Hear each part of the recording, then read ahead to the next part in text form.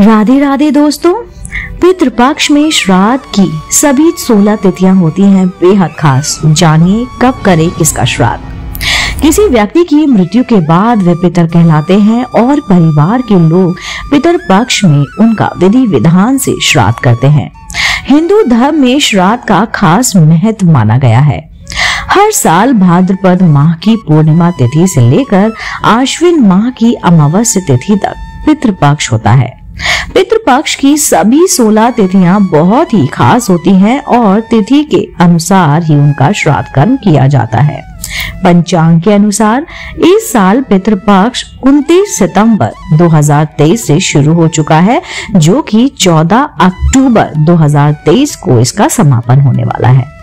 हिंदू धर्म में पितृपक्ष को बहुत ही महत्वपूर्ण माना गया है और कहते हैं कि इस दौरान पितरों का श्राद्ध करने से उनकी आत्मा को शांति मिलती है। जब वे प्रसन्न होते हैं, जब वो प्रसन्न होते हैं तो आपको बहुत सारा आशीर्वाद देते हैं। वो अपने परिवार को सुख समृद्धि का आशीर्वाद देते हैं। पितृपक्ष में कुल 16 तिथियाँ होती हैं। इसलिए ये जानना बेहद ज़रूरी है कि किस तिथि पर किस पितर का श्राद्ध किया जाता है। सबसे पहले हम जान लेते हैं पितृपक्ष की तिथियाँ। पूर्णिमा और पहला श्राद्ध उनतीस सितंबर शुक्रवार को है। द्वितीय तिथि का श्राद्ध 30 सितंबर शनिवार को। तृतीय तिथि श्राद्ध एक अक्टूबर रविवार को है। चतुर्थी तिथि श्राद्ध दो अक्टूबर सोमवार को है। पंचमी तिथि श्राद्ध तीन अक्टूबर यानी मंगलवार को है। षष्ठी तिथि यानी कि चार अक्टूबर बुधवार। सप्तमी तिथि श्राद्ध पाँच अक्टूबर गुरुवार को है। अष्टमी तिथि श्राद्ध सोलह या, यानी कि छह अक्टूबर शुक्रवार को है। नवमी तिथि सात अक्टूबर शनिवार। दशमी तिथि का श्राद्ध जो है आठ अक्टूबर, रविवार। एकादशी तिथि, श्राद्ध, नौ अक्टूबर, सोमवार। मघा श्राद्ध मंगलवार, यानी कि दस अक्टूबर। द्वादशी तिथि, श्राद्ध, ग्यारह अक्टूबर, दिन बुधवार।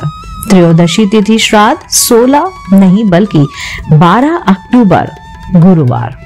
चतुर्दशी तिथि, तेरह अक्टूबर, शुक्रवार। सर्प, प्रति अमावस्य श्राद्ध। चौदह अक्टूबर शनिवार को है। अच्छा बात करते हैं पितृपक्ष में किस तिथि पर होता है, किसका श्राद्ध। पहली पूर्णिमा तिथि। जी हाँ दोस्तों, जिन लोगों की मृत्यु पूर्णिमा तिथि के दिन होती है, उनका श्राद्ध पितृपक्ष की पूर्णिमा यानी कि पहली तिथि का किया जाता है।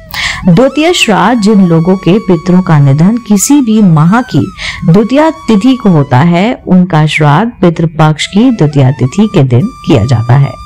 तृतीय श्राद्ध किसी भी माह की तृतीय तिथि के दिन मृत्यु होने पर उस व्यक्ति का श्राद्ध कर्म पितृपक्ष की तृतीय तिथि के दिन होता है। चतुर्थी श्राद्ध, यदि किसी पितर की मृत्यु के दिन चतुर्थी तिथि होती है तो उसका श्राद्ध पितृपक्ष में चतुर्थी तिथि के दिन किया जाता है, पांचवा श्राद्ध। जी हाँ किसी अविवाहित यानी कि कुंवारे पितरों का श्राद्ध पंचमी तिथि के दिन किया जाता है। दोस्तों, ये थी जानकारी पितृपक्ष में श्राद्ध के सभी 16 तिथियों के बारे में और किस दिन किसका श्राद्ध करना चाहिए, ये मैंने आपको जानकारी अपने वीडियो द्वारा आप तक पहुँचा दी है। उम्मीद करती हूँ, ये वीडियो आपको काफ़ी काम आएगा, आपकी जानकारी में वृद्धि लाएगा। अगर आप ऐसे ही धार्मिक पौराणिक कहानी कथाएँ सुनना पसंद करते हैं तो आप मेरे चैनल आध्यात्मिक कहानियों को तुरंत से लाइक कीजिए शेयर कीजिए और सब्सक्राइब कीजिए।